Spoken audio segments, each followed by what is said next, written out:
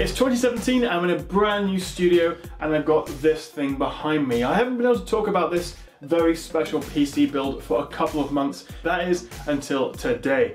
Inside here we have a brand new Intel 7th generation Kaby Lake i7 processor and a Z270 motherboard.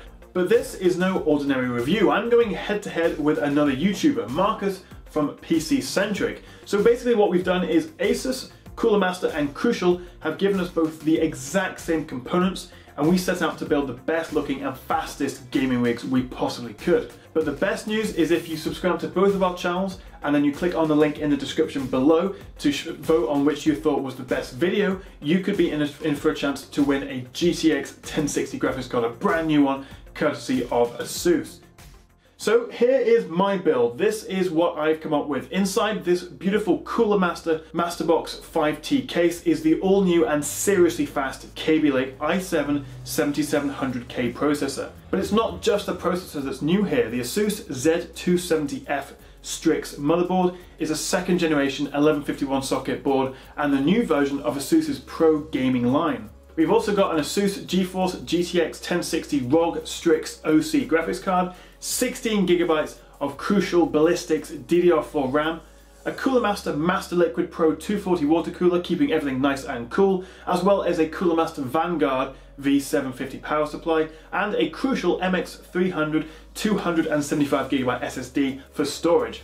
Some of the prices haven't been confirmed yet, but all in you're looking at around £1,300 or $1,450 for this spec. So a big thanks to ASUS, Cooler Master and Crucial for providing me with all the components I need for this build. But do rest assured this isn't an advert, they're not paying me to say anything, all my opinions and thoughts are my own, so don't worry, they were just kind enough to provide me with some samples.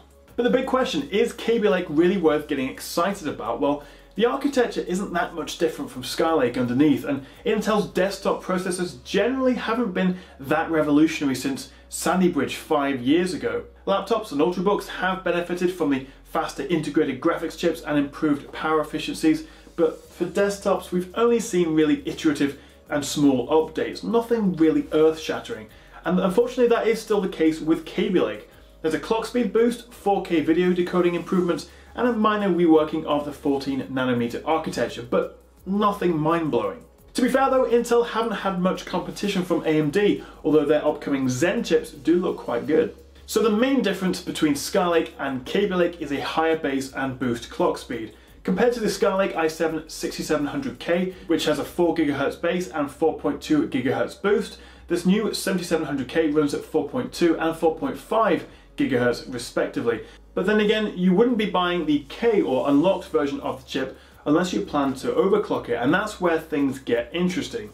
Now, I'm not a hardcore overclocker, and I prefer a good old-fashioned, no fuss, stable motherboard auto overclock. So rather than messing with CPU multipliers or adjusting voltages myself, I used ASUS's AI tuning wizard in the Z270's BIOS to get a stable 15% overclock to 4.84 GHz, which is awesome, and nearly 250 MHz more than I got from my Skylake i7. So a stable 4.84 GHz overclock on this chip, which took just a couple of minutes, is absolutely incredible but it gets better. Now, this motherboard isn't actually out yet, and ASUS keeps sending me updated beta drivers for it. And as well as a brand new update which came just today, there was a whole new uh, overclock profile for 5 gigahertz which you can load. There's no modifying voltages or CPU stuff, it's just load it, restart it, save it, and you're good to go. Unfortunately, when I tried this 5 gigahertz overclock, I did get a blue screen of death pretty much instantly. But ASUS are clearly confident this can work. So depending on your system, your cooling, and maybe with a little bit of tinkering of voltages or some stuff in the BIOS, it's clearly achievable. But whether you're getting 4.84 gigahertz or 5 gigahertz on this Kaby Lake chip, these are some seriously impressive numbers. And that's really the main benefit of Kaby Lake. So what sort of performance do you actually get with the i7 7700K in real life? Well, I ran five different tests with the processor at stock speeds and overclocked to 4.84 gigahertz. As well as that, I also had the 1060 graphics card overclocked by around 8% on average because it is also important to overclock your GPU as well as your CPU to make sure you get the best gains. So here are the results. We've got the Time Spy and Cinebench benchmarks as well as Gears of War 4, Rise of the Tomb Raider and GTA 5. Now what's interesting is the CPU overclock had almost no effect in two of the three games. Only GTA 5 saw a 4% boost from that extra 240 MHz processor speed, but the artificial benchmarks did show a 5% boost in CPU scores. So considering how easy it is to overclock, getting an extra 4 to 5% in some applications is definitely worth doing. And you'd be looking at more like 6 to 7% gains if you do push it to 5 GHz. Obviously your PC is only as fast as its slowest component, so if you're going to go out and buy a new Kaby Lake chip, make sure you pair it with a fast GPU and give it a bit of an overclock.